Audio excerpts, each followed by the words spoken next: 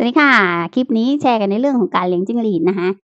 อากาศเริ่มดีขึ้นแมลงก็เริ่มเลี้ยงง่ายขึ้นนะ หลาย ๆ ท่านที่หยุดเลี้ยงไปตอนที่อากาศร้อนตอนนี้เริ่มกลับมาหาพันไข่เริ่มที่จะลงเลี้ยงกันบ้างแล้ว เป็นสัญญาณที่ดีมากเลยค่ะ แล้วก็สำหรับเพื่อนไหนที่เพื่อนๆท่านไหนที่มีตลาดในเรื่องของใส่เบ็ดเซียนเบ็ดพวกเนี้ยช่วงนี้ลงได้แล้วนะคะ เพราะว่าฝนเริ่มตกเขาเริ่มตามหาแมลงกันแล้ว อ่าส่วนเพื่อนใหม่ถ้ายังไม่รู้ข้อมูลตลาดนี้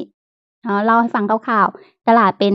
ตลาดสำหรับเขาจะซื้อไปใส่เบ็ดตกเบ็ดพวกนี้ยค่ะเราจะขายขีดละ25-30เนาะขายตัวปีกนี่แหละค่ะ ก็แล้วแต่ว่าเขาจะเอากี่ขีดนะเป็นตลาดที่ราคาดีพอสมควร แล้วก็ไม่ได้เน้นตัวเมียนะเน้นตัวผู้ ตัวเมียจมน้ำตัวผู้ไม่ค่อยจะจมเขาก็จะชอบตัวผู้นะแต่เราเราก็จะสามารถเลี้ยงอาหารที่ ลดต้นทุนได้ เช่น อาจจะเอาลำมาปน อาจจะให้พืชผักเสริม เน้นไปทางพืชผักด้วย ก็ได้อีกเหมือนกัน เลี้ยงยังไงก็ได้ให้เขารอดเพื่อนๆถ้าเกิดเลี้ยงให้พวกเซียนเบ็ด หรือเลี้ยงให้พวกที่เขาไปให้อาหารนกพวกเนี้ยก็จะเลี้ยงง่ายนไหมคะเป็นสัญญาณที่ดีฝนเริ่มตกน่าจะหลายพื้นที่ เพื่อนๆก็สามารถวางแผนการเลี้ยงได้เลยนะคะ ส่วนจิ้งหรีดใบนี้ของนานิดเนี่ยกำลังดูแลง่าย การกินอาหารก็เยอะขึ้น ตอนช่วงนี้เราต้องเพิ่มถาดอาหารให้เขากินเพียงพอค่ะ ตัวโตขึ้นก็กินเยอะขึ้นกินเก่งขึ้น เบียดเสียด ยัดเยียดกันตามถาดแทบจะไม่มีพื้นที่เลยเงี้ยต้องเพิ่มพื้นที่ต้องเพิ่มถาดอาหารให้นะส่วนแผงไข่มันจริงๆ มันต้องมี3ช่อง แต่นิดยังไม่ใส่